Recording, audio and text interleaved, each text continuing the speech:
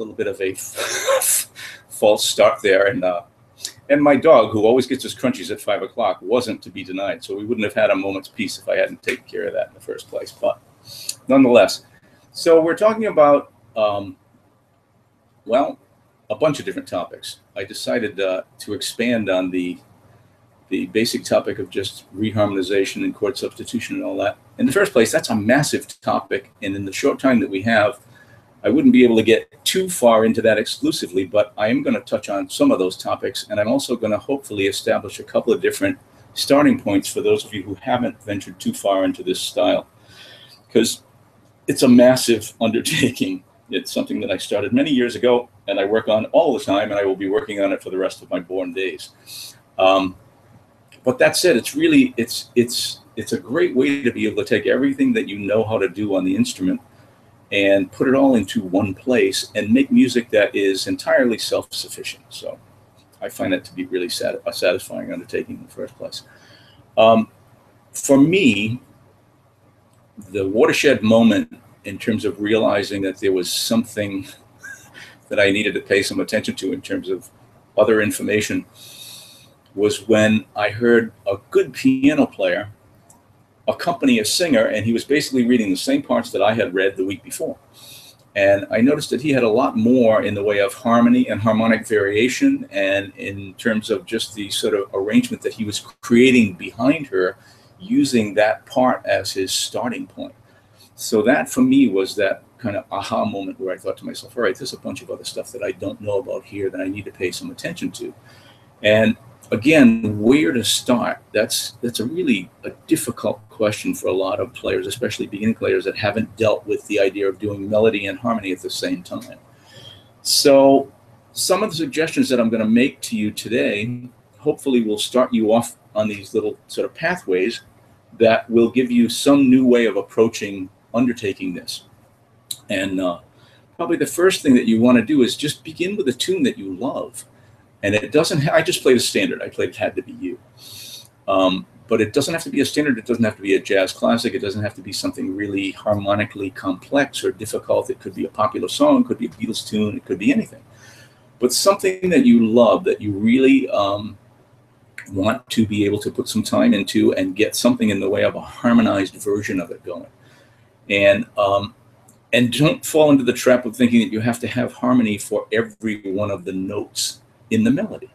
Um, that's the other part of this style that is, for me, a lot of fun. It's a little bit like writing in that, you know, especially if you're using a word processor, you have the the capability to move stuff around and decide, oh, maybe not that, maybe this, so maybe I don't have to harmonize the pickup notes or whatever. For instance, I just did it had to be you.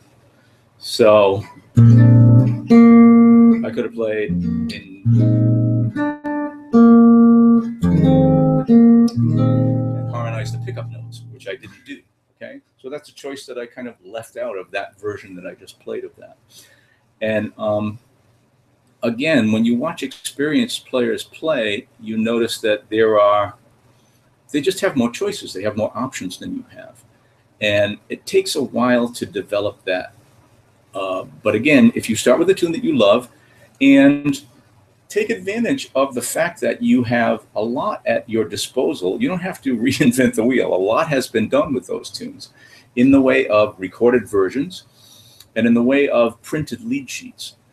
So, one of the things I always tell my private students, especially, is uh, hunt up something in the way of several, if not many, as many lead sheets as you can find, and just compare what is given to you to work with as far as basic harmony.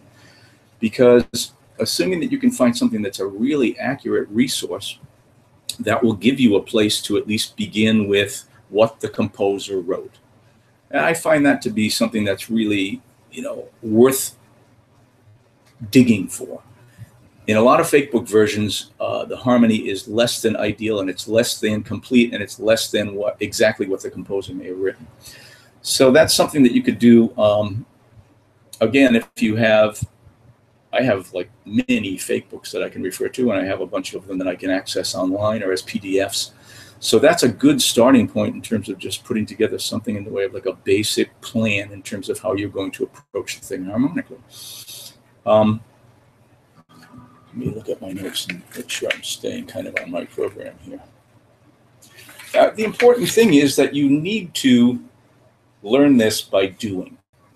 Um, you, you need to study eventually and you need to pay attention to harmony. You need to pay attention to the theory behind all of these different concepts like flat five substitution and all the things that we talk about when we talk about reharmonization and chord substitution. But knowing about it is one thing, and then having used it many times, having applied it many times is, is really the crucial issue. And that's what most people fall down on is the application of any of these basic concepts. Um, again, if you pick something that is widely known and that has been played a lot, has been recorded a lot, that gives you a lot to work with in terms of recordings. So that's another thing that I always suggest to my students is, you know, find recordings of people playing this and don't limit yourself to just guitarists. Um, some of the best stuff I've stolen, some of the best ideas I've ever gotten came from piano players, um, organists, vibists, um, big band arrangements. So there's a huge resource that a lot of people don't discover until very late in the game. That is unfortunate because when you look at big band arrangements, harmonically, they're usually way more sophisticated than what most guitar players and even piano players might play um, in terms of the kind of harmony that's being used, note for note.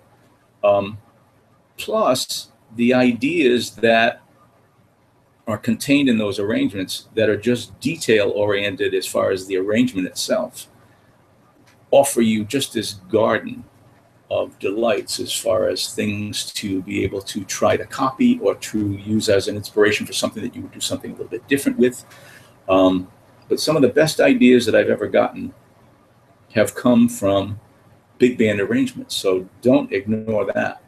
Um, and then piano players. You know, there are so many good piano players that have um, small group arrangements that are very detailed and that give you a lot to investigate in terms of how they have crafted the arrangement. Um, Oscar Peterson comes to mind. So for a lot of his recordings, he recorded with bass and drums. In some cases, he recorded with bass and guitar, no drums. And those are great too. Um, but the detail in those arrangements in terms of what he used, how he started the tune, how he built up the tune, what he used for alternative harmony and all those things is just like, it's just a treasure trove of information. So if that's something you've never checked out, I highly recommend that you do that. Um, all right, so we talked a little bit about picking a standard that um, is something that's been recorded a lot. So here are a few kind of simple examples. Most people know the tune "All the Things You Want." Okay, the Jerome Kern. It's kind of a it's a jazz standard. All right, so in the very beginning, when you play the first part of the melody, and if I harmonize the melody F minor, the A flat on top.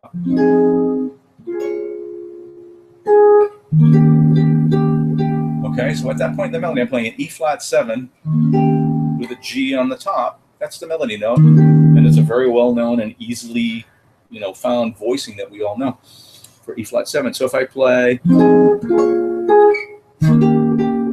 and then it lands on the A flat. Okay, so a simple substitution would be to play instead of the E flat seven, if I play, and then I used A7 in place of the E flat seven, that's a tritone substitute. Okay, so that's something that you'll hear experienced players do. That's something that you'll see in really good fake books like uh, Chuck Sher's New Real Book series. It's a it's just a level of detail that in some cases is included in a really good lead sheet. So, and I might maybe take that a step further. So I play F minor seven to the B flat minor seven with the D flat on the top, and then here again instead of the E flat seven and or the A7, I'm going to start with E minor 7, which is the 2 minor 7 chord that precedes the A7. So I'm just using a technique called back cycling. Okay? So now my my chord melody will be this.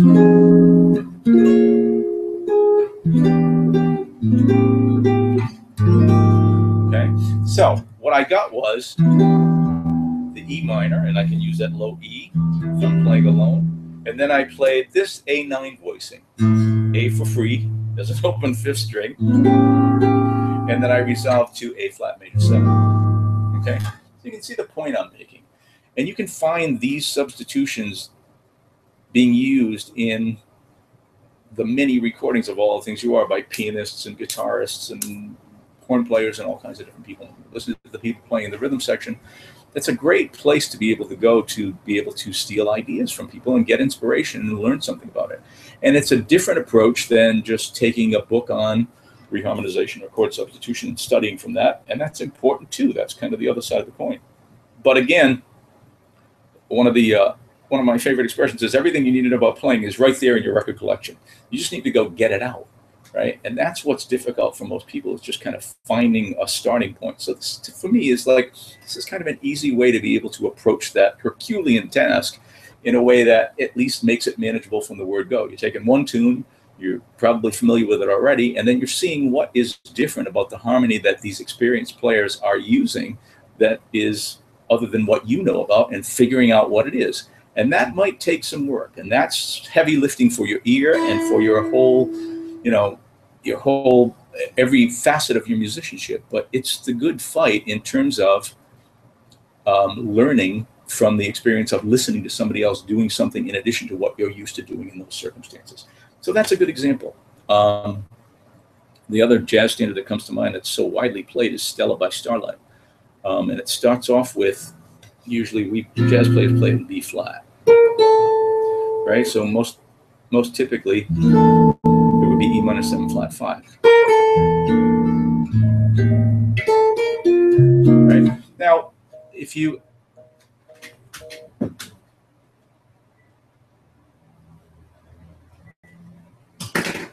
if you were to listen to the original version of this song, and it comes from a film called The Uninvited.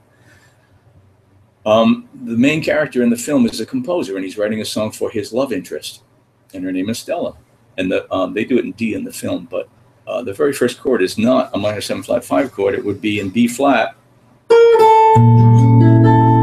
It's a diminished seventh chord with a major seven on the top. So again, that's a harmonic realization, a harmonic moment that when you hear it, you know you're not hearing what you're used to hearing in terms of an E minor 7 flat 5, but it's something that sounds great and obviously was the original harmony that Victor Young wrote in the first place. So, so that again is a good example of some of the things that you can get from listening to the masters and from you know all the different people that have recorded this. And it could be, a, it might be a vocal version of it that might, it might be something that the pianist or the guitarist or the big band that accompanies them is playing in the harmony that you can hear and that you like and that you want to have to dig for.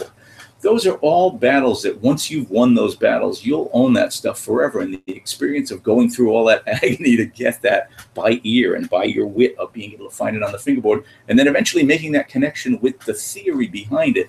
Now you've completed that circuit and you will never lose that information that will become something that you can use time and time again on all of these different chord melodies that you create. So, you know, this is all inch by inch, very slow incremental progress that we're talking about. Let me go the rest of the way through here. So if I play on Stella, usually goes to F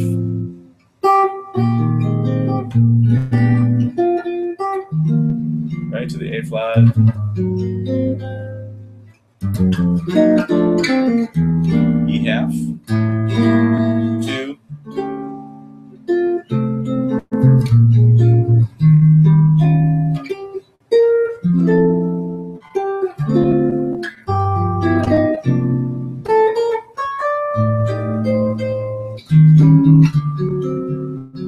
and then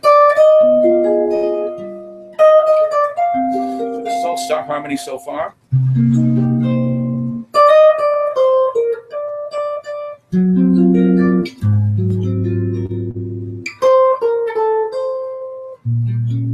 Another diminished chord.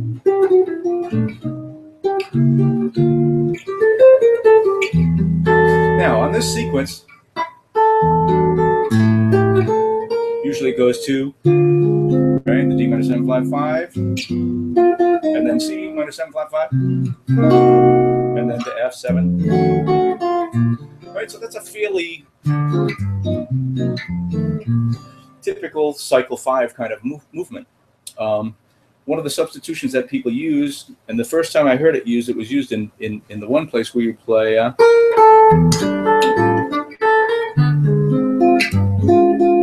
and then instead of going to C minor 7 flat 5, you go to.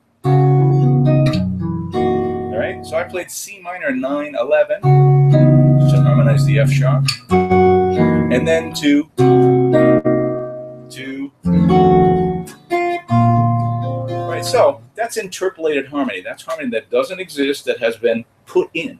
It's another one of those techniques that is used widely in chord melody playing and in harmonizing melodies. And it's it's basically it's just a chromatic two five, right? So instead of landing on the C to F, you proceed it by C sharp to F sharp, and it creates interest. It create and again, I, I say this a lot. It's not necessarily better than the original, but it's different and it's an option and it's something that you can choose to use some of the time or not use as your whim dictates, right? Here's the other place that typically typically gets kind of extended even further. So you might play, uh, and then you go for a chromatic 2-5 here, E flat minor 9, A flat 13, and then to the D half, and then to the G7, and then C sharp 2, and then to, to, all right, so that's a lot of information. That's pretty sophisticated harmony. But again, this is a tune that many of us know, and it's it's it's an uber jazz classic. Okay, so that's a good example of something that you could find many recordings of it to compare, and some of them may use that, some of them may use none of that at the end. But again, your ear becomes more and more and more sensitive to something that is other than what you expect in terms of harmony being used.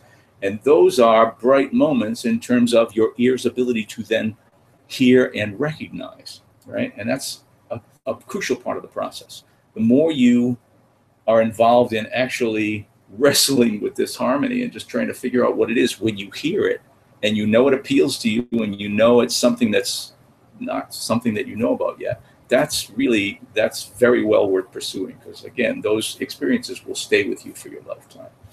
All right, so let me just check where I am. Time is, time is flying by here.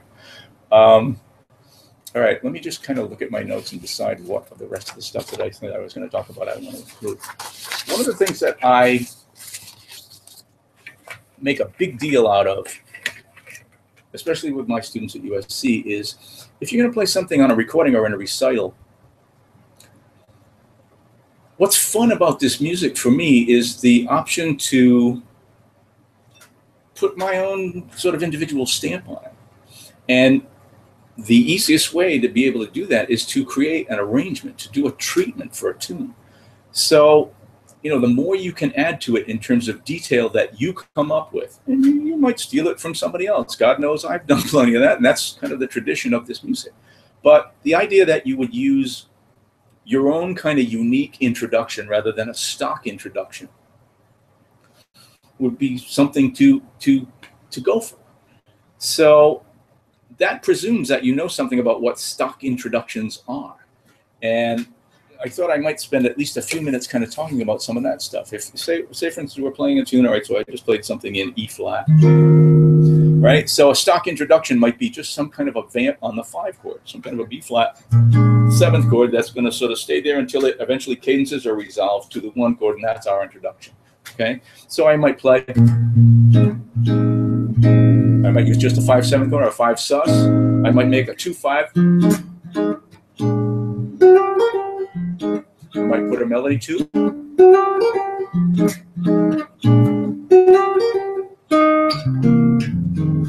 Mm. Right, so that's a typical way that you might, in a, in a jam session or in a situation where you're playing with people that you haven't played before, start a tune and do something other than just start right on the beginning of the tune. So the more you know about all of the typical ways of starting tunes that are tried and true and that have been used to death, that's at least a starting point, and you can use those on the tunes that you play and get comfortable with them and get tired of them, and then start looking for something that represents way more involved kind of detail as far as as creating an introduction. Um, the, the the thing of starting a blues instead of starting a blues on the on the very beginning of the form, the top of the 12 bar form, you start from say for instance we're playing so blues in C. So you play the last four bars.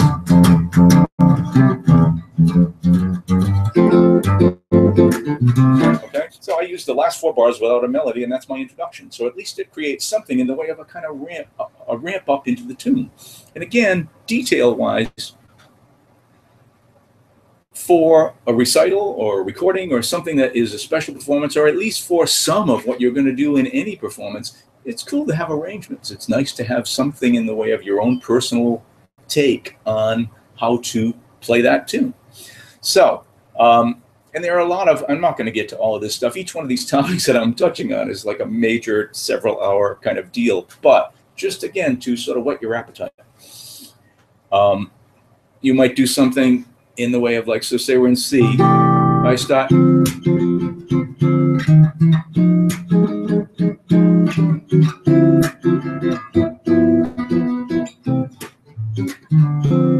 Okay, so what I did was I played a two chord, two minor seven, D minor seven, and then I went up a minus minor third. With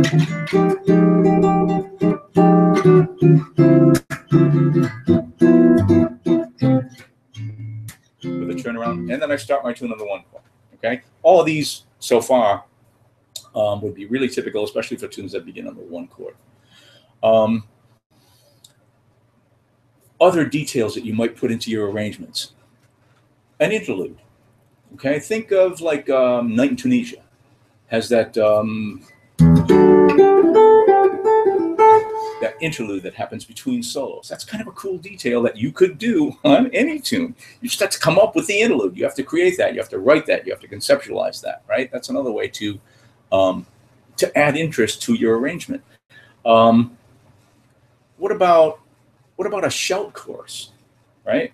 Um, one of the probably the most famous shout chorus that I can name comes originally from Count Basie's Splanky, S P L A N K Y. If you've never heard this, check it out. The Count Basie Band. it's just it's a great recording.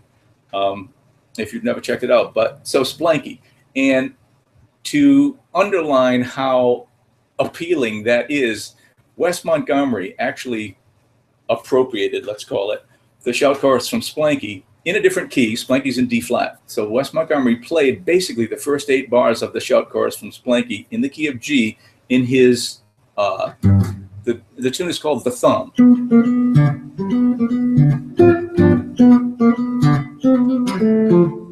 Right, so blues in G. So if you listen to that recording, when when he gets the solo built up to the point where it really feels like it needs to kind of like you know reach a climax then he plays this shout chorus which is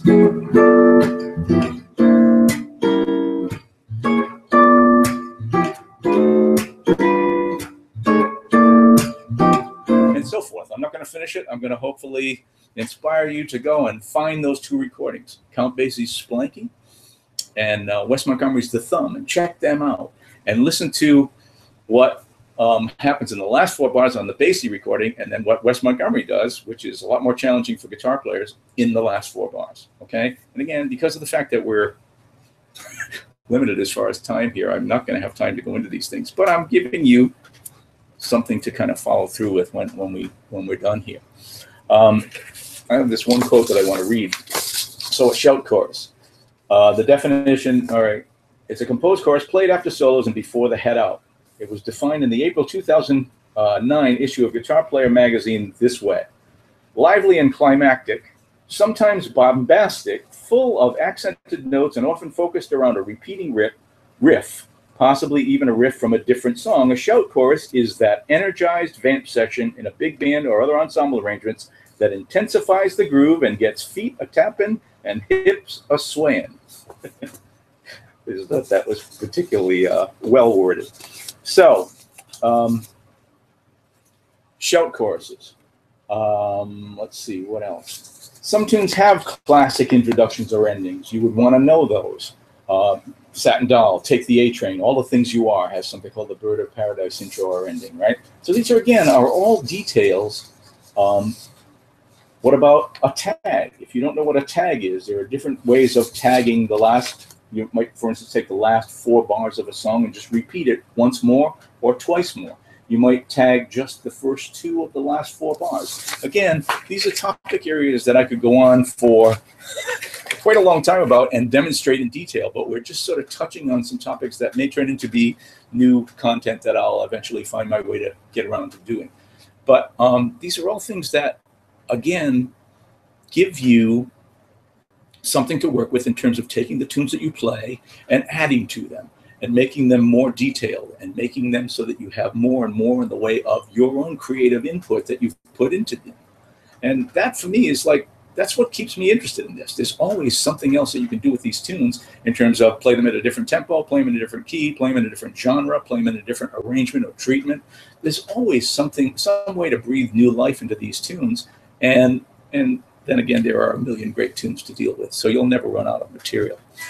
All right, so we're getting to be at about 540 and I'm thinking, so I've I started about 10 minutes late. So if I go too much longer, we're not going to have too much time for anything in the way of questions. So let me just kind of scan down my list here and see if there's anything.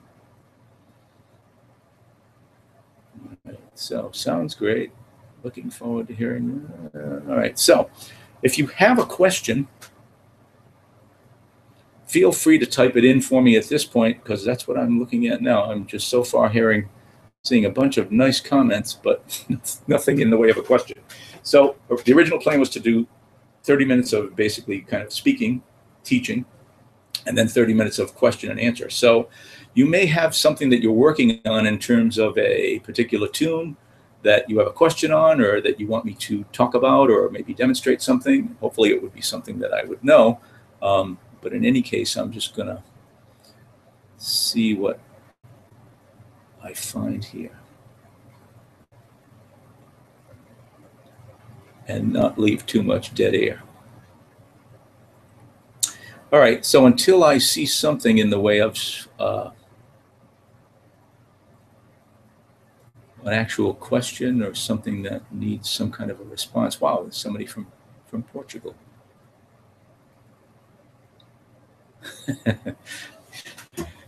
All right, so I'll demonstrate something else from one of my recordings here. The last record that I did was a, a, a, tribute to Joe Pass. It's called For Joe. And um, so one of the tunes I did on it, Cole Porter's uh, Love is Here to Stay. So again, when you look at lead sheets, first of all, a lot of people know that as Our Love is Here to Stay. And the actual title of the tune is Love is Here to Stay. So if you look in a fake book under O, you'll never find it. Um, but there are a fair amount of lead sheets that I've seen that are available for this. And again, you know, the harmony tends to be, hopefully, in the best case scenario, what the composer originally wrote and no more. Um, the new Real Book series, as I said earlier, does very often include something in the way of uh, alternative harmony and it might be just what has become common practice to substitute for the original harmony. It might be something that, um, say, for instance, like in certain cases, they put, well, here's what Bill Evans uses for this part of the tune. They put some kind of hip harmony that he came up with. That's a different, a different whole way to harmonize that section of the tune, and things like that. So the really good fake books will include that information, but the um, the vast majority of them just give you the basic changes. So right? So here I'm in the key of E flat. And it usually starts on some kind of like an F7 chord. So I'm playing. Right? So now it lands on E flat, two, three, four, one, And I could leave it there for two bars if I just go according to the original harmony. Okay? But again, in terms of reharmonization and substitution, I might find my way to the F7 again by going.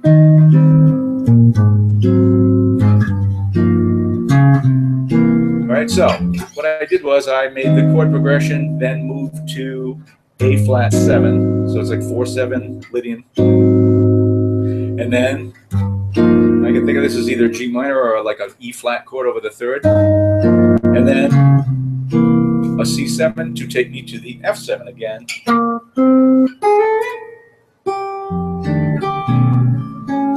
Now again, so there I went. I'm putting in that B chord. I could just go. All right. And the only difference is I get the root motion that now goes moves from the F up a tritone to the B, down a half step to the F. It's not better than the original F minor to B flat. It's just different. It's an option, right? So that's what I want to kind of clue you into as far as what you'll be looking for when you listen to other people's recordings of these tunes is be listening for things like that where stuff is happening with the harmony that is in addition to what you're used to and see if you can figure out what it is. Because once you get a claw hold a little grasp on it you're going to be really you'll be hooked. It's like it's such a fun um, activity. I have a couple of questions here now. Let's see. All right so the first one that I saw had to do with when I'm transcribing Oscar Peterson, do you take it to the piano first to see how it sounds? No, I'm not. My piano chops, what few chops I had when I left my undergraduate at Berklee, have long since gone away from from underuse. So I I barely can function at the keyboard anymore, and I'm just so used to doing it on piano. But what happens is, um, one of the big problems with transcribing from piano is like you can't play those voicings in a lot of cases. You have to kind of you have to leave some stuff out. You can't play everything. You know, piano players have 10 fingers and they have the breaks and all that stuff that we don't have as far as like capability to really get dense harmonies. But it's really a good challenge for your ear to be able to figure out what the essence of that harmony is and then come as close to it with a voicing on the guitar that makes you feel as though you at least have the basic chord sound and the, the essential color that you're hearing happening. If you can get there, then that to me is like that's almost as good as as, as you know exactly the same thing on a, on a keyboard. And you know, again, you're going to have to transfer to the guitar anyway. So sooner or later, you're going to have to lose a few notes. But that's a good question. Um, all right, so uh, let's see. There was another one. I haven't done any transcribing yet. Software. Um, if you don't have any, well, first of all, most software allows you to uh, slow down the tempo and, and, mess with the pitch and all that stuff. But I don't know if you're aware that YouTube has a pretty kind of cool feature. There's like a little cog or it looks like a gear. And when you click on it, it allows you to play the selection that you're seeing the video at either half speed or a quarter speed or 75%. So at least there are those four increments that you can slow the stuff down. And that's actually a really very useful tool that somebody pointed out to me not all that long ago that will give you at least a starting point if you don't want to go out and, and buy software. I, have used uh, Amazing Slow Downer, and that's very good. There was a free one um, uh, that I won't be able to think of the name of, but um, the last one that I actually bought and that I use now is called Transcribe, and it's very good. Um, so I would recommend that. Um, looking at a few more. Can you outline the steps you do in order to create a new melody? Yeah. Um, I mean, this again, when you're starting out, it's a little bit like throwing somebody into the deep end of the pool to say, okay, here's the here's the tune and here's the melody and just here's the harmony, go. It's it's a tall order. There's a lot to do there. But if you can at least get something in the way of, again, the basic changes and harmonize a few key points in the melody that you think warrant having harmony to support that note. Okay?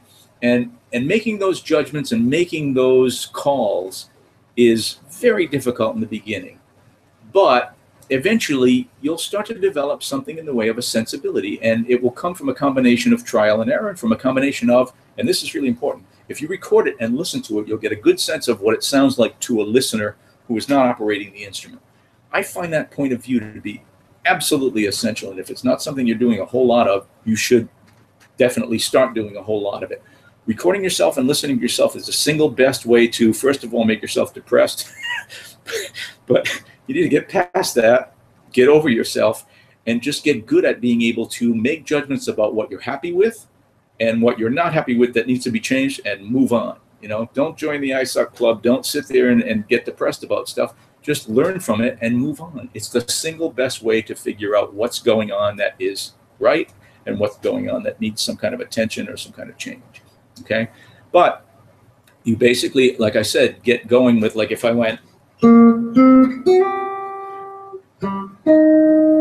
right? So if I didn't harmonize anything else, I'd want to harmonize that E flat, right? Now if I harmonize it with this, so it's an F7, there's an E flat, All right, it's not the greatest voicing in the world. It's pretty bland. There's no color in it. But if what I did play was, right, so that at least has a ninth in it instead of that double root, right? So I might go, and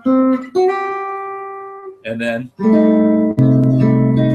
that's just a drop two inversion, and then I could. All right, so now again, I've kind of gotten a little bit more advanced there. But if I go, so that's a voicing that will at least get me that F7 sound. And then, right, so again, when I hit the E flat, I played, notice the places that I applied the harmony. And then a B flat.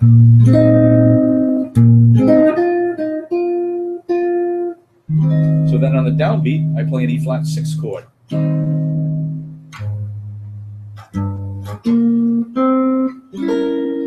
Now that is a diminished seventh chord that you may recognize, and how it's functioning is C7 flat nine.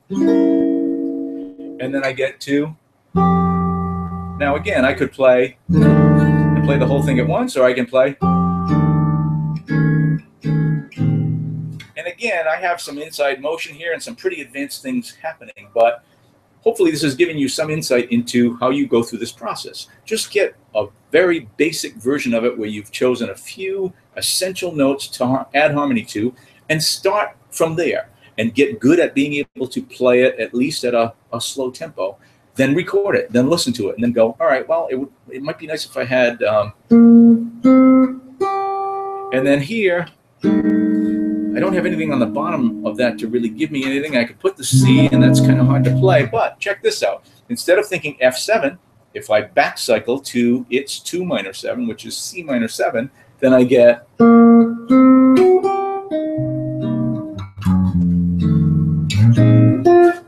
again, I have interpolated harmony. I have added harmony. I have had to think of the process, the device of back cycling. Okay? So instead of playing this F7, F9. I played. So now I have a lot going on here. I played the C minor 7, and then it goes to the F7, and then I have that little line that goes from the 13. And then I played a little B flat sus, and then I'll play. Again, I played B flat sus, and then this is a diminished seventh chord again that you might recognize. All it is is functioning as a B flat 7 flat nine, which is a little bit more color, pulls a little bit harder towards the one chord.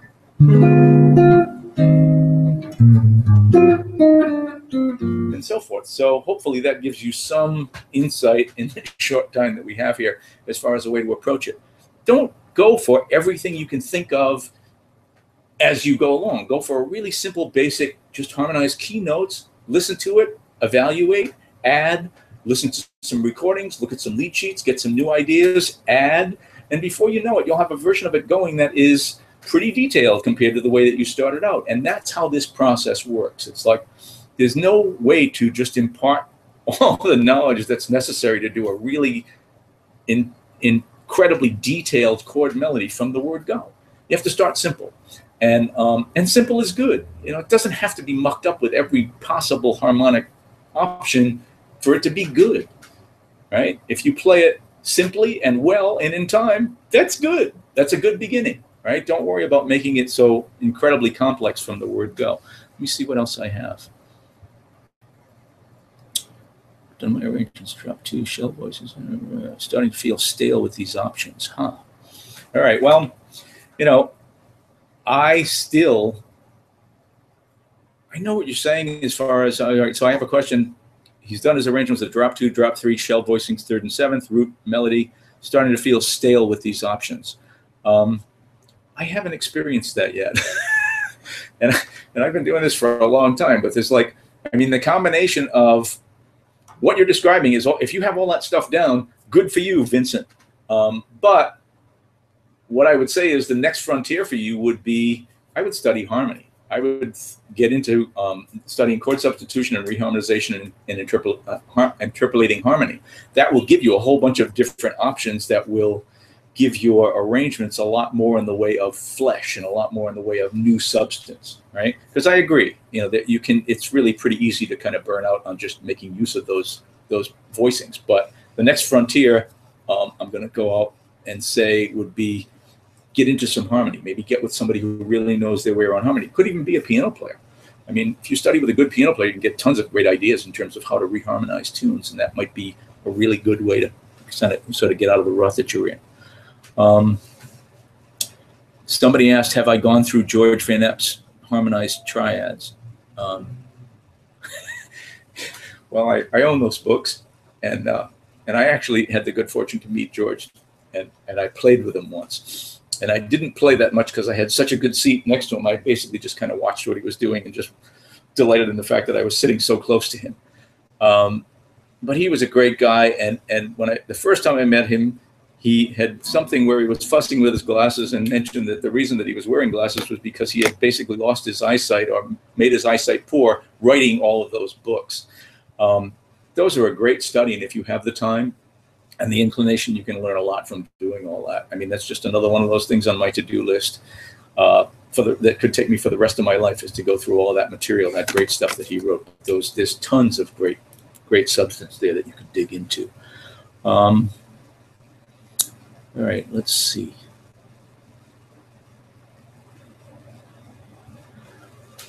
All right, until I see.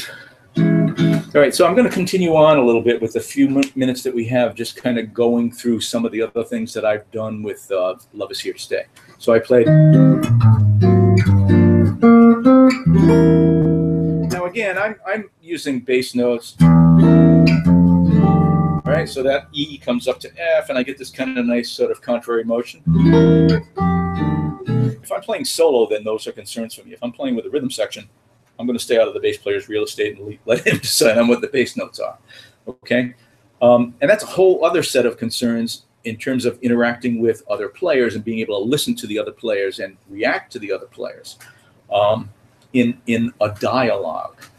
Because again, this music, when you play it with other people, can be very much we all operate in our own silos, separate silos, independent of what each other is doing. But that's not fun. Okay, think of a good conversation. In a good conversation, there's an exchange, there's a dialogue. I say something, you react to it, you disagree, you agree, you say something else, somebody makes a joke, somebody, and there's an exchange, and we have a good time with it, right? It's fun. We're playing, we're at play. So, in the same way, when you're playing with people, and they do something that is a little out of the ordinary or unexpected or cool or a different option than what you're used to, it's good to be able to, first of all, be aware of that, right? Hear it, and then react to it. And this is a whole other level of accomplishment in terms of playing with other people. That, um, you know, again, yet another topic that I could talk for another three hours about. Um, but here I'm, I'm functioning as a solo guitarist, so I'm, I'm kind of adding my own bass notes as I go along. That's where I kind of get off onto that rabbit trail. So, Mm. so again, I'm playing F my F7, two. I'm playing an A flat as a passing chord to to a G chord. So it's just a a, a dominant seventh chord that resolves down a half step right? Like a flat five substitute. So two. So this is A minor seven five five. Now this sequence usually is so G minor seven, C seven, F minor seven, B flat seven.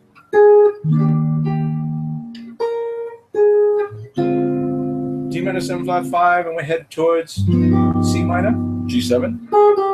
All right, so the harmony for that whole section for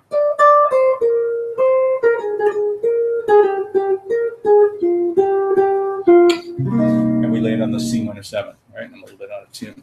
Hold on just a second.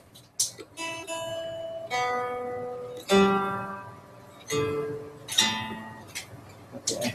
All right, so here's a cool thing that that I heard somebody do and that I used in my arrangement of it. So if you if you hear my recording of it, you'll hear this. So instead of F, uh, G minor 7, C7, these are all for two beats. G minor 7, C7, F minor 7, B flat 7, E flat for a whole bar, and then D minor 7 flat 5 to G7 to the C minor 7. Okay? Here's a cool thing that that you can do with that. And it works with the melody, which is like, all right, so this is like hitting the lottery times 10. So you, you can play, instead of starting on G minor, I'm going to start on a half step above. All right, so I'm using the principle of, again, this is another arranging, uh, reharm, I mean, uh, what do you call it? Yeah, reharm concept called half step, two fives. So it's going to be right? So you can hear what I'm doing. It's like A flat to D flat, and then G to C, and so forth. Right? And I'm going to use that sequence to harmonize that whole sequence that usually would just be.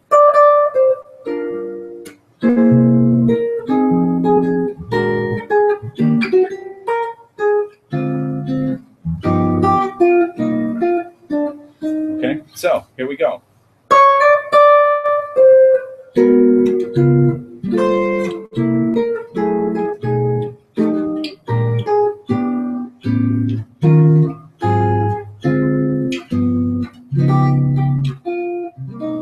Okay, so I mean, again, that's a good example of that's an awful lot of harmony, and it's a lot of you know choreography as far as your your left hand is concerned. But it's something to do on that tune that's unusual and that's cool, and to be able to get away with all that half step chromatic two five stuff is you know for me that was like I just thought, wow, I, I gotta use this. I gotta. Uh, let's see. I'm looking through and see if I have any other good questions and.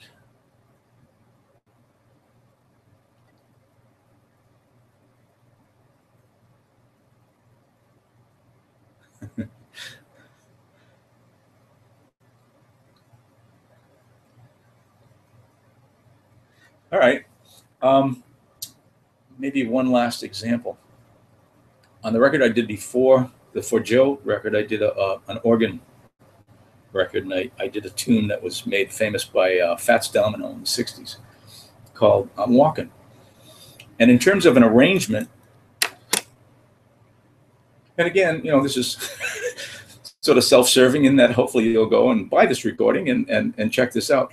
But what came to me as an idea as I was thinking about doing I'm Walking, because I sang this on the record actually, but um, I started thinking about just the idea of like what other what other tunes did I do I know that use the, the word walking, walking in any way. So there's that um,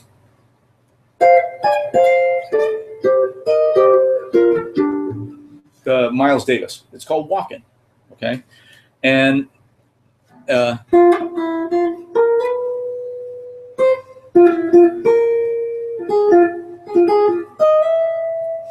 Okay, so it's a pretty well-known blues thing that Miles Davis recorded and made famous. So I thought, all right, well, so the whole idea of using that um,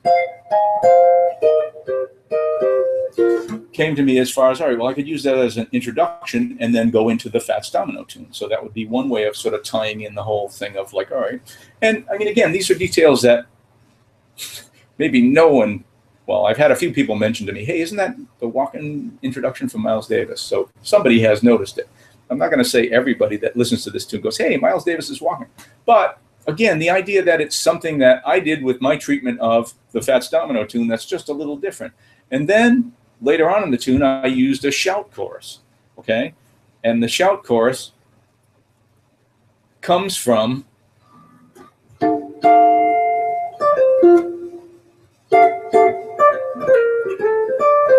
It's called Blues Walk. Okay.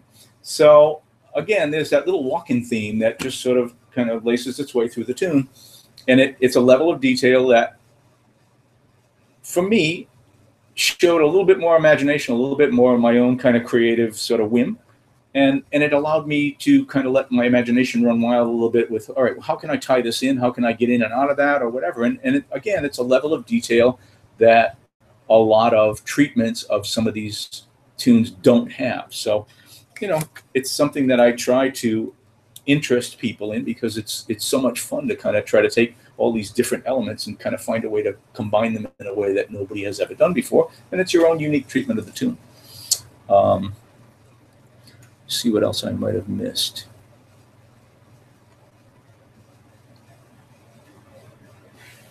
All right. Um, all right, here's a couple of requests that I'll choose to ignore.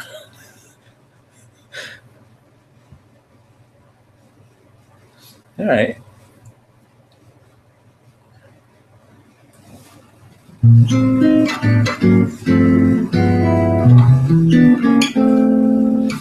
All right, so I think I pretty much touched on everything that I've seen in terms of uh,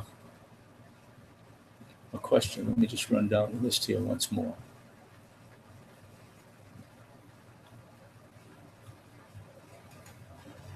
Yeah.